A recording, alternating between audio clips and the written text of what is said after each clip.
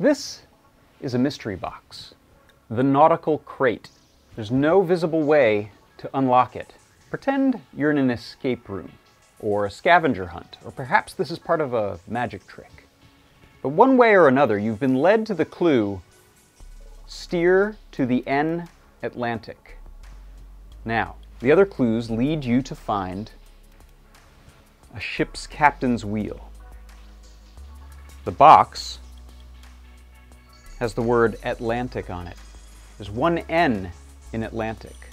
Here's what happens when we place the wheel on the box. It now opens. To reveal the solution or perhaps the next clue. What we have here are a king of spades, king of clubs, king of hearts, and a blank card. This must be the next clue. A mystery box is a lot of fun, and it's fairly simple to make. It doesn't require any microcontrollers or programming.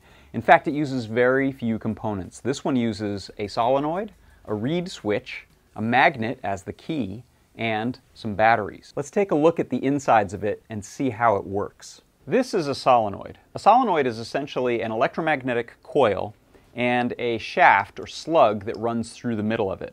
When the coil is charged, it drives the slug in one direction or another, and there's usually a spring attached to one side to return it when the power is removed. When I connect the wires, the shaft pulls back. And this is how we're going to create the locking mechanism for the mystery box. We're going to use a special kind of switch called a reed switch. The way these work is there's a set of metal contacts inside that are normally open.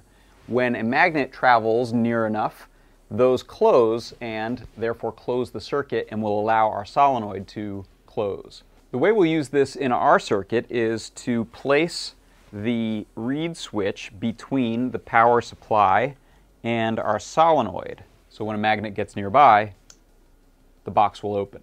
This is a cutaway I made of the inside of the box so that we can see it in action.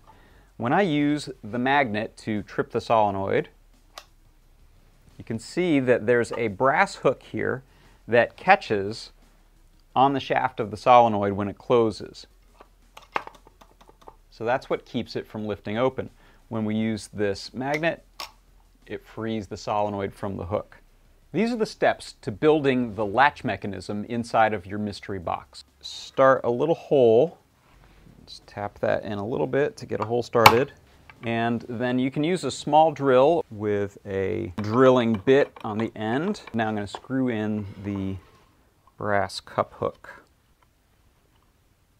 Okay, so that seems like a pretty good placement. And what I'm going to do is mount the solenoid to the side of the box with these little mounting ears, and then I'll be able to fine tune the hook until it works out just right.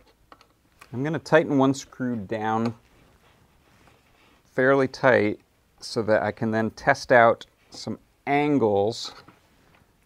What you'll see is that the solenoid, if it's tipped up just a little bit, may engage the hook a little bit better.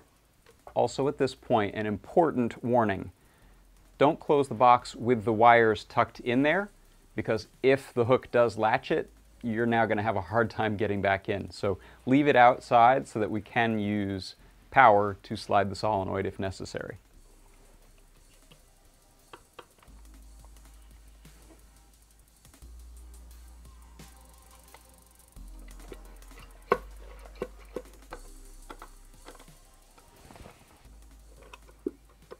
Ah, we got it. So the box is now latched shut and I can just use the power supply to open that. So now what we'll look at is the placement of the reed switch so that we can trip this circuit from the outside using a magnet. We can test out the reed switch now by splicing it into the solenoid circuit with ground connected directly between the battery pack and the solenoid, and then the reed switch will go between the power leads. Now we can do a little bit of a neatening up job inside of the box here. I'm gonna take some hot melt glue and just put a dot of it on the end of the battery pack so that this doesn't shift around inside the box. We can pop that off later if we need to to change the batteries. Okay, and then with that in place, you can glue down the wires and the other connectors. So to create the false bottom for this part of the box, what we'll do is just mark off and cut out a piece of cardboard and then we'll also cut out a small notch so that the brass hook can pass through that position and into the solenoid.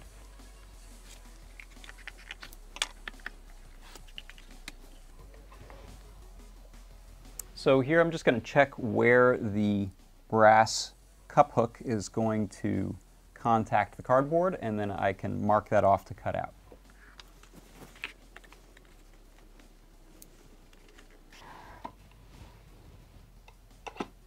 And now to fancy things up a bit, I'm going to cover this with some felt. You can use adhesive back felt uh, or you can use some glue and place the felt, I've already pre-cut in this case, over our cardboard and the notch. It's a nice idea to embed the magnet into some other object that can be found, that can be the answer to a previous puzzle perhaps. So what I chose were these resin Christmas tree ornaments. What I did was took one of these and on the drill I drilled out a little hollow that I could insert my magnet.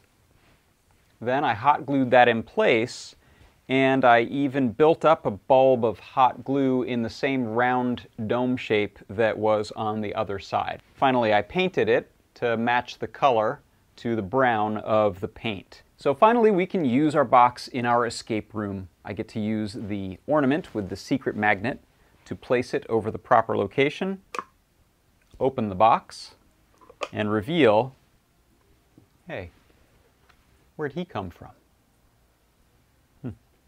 I'm John Park for Adafruit Industries. I hope you've enjoyed the mystery box, The Nautical Crate.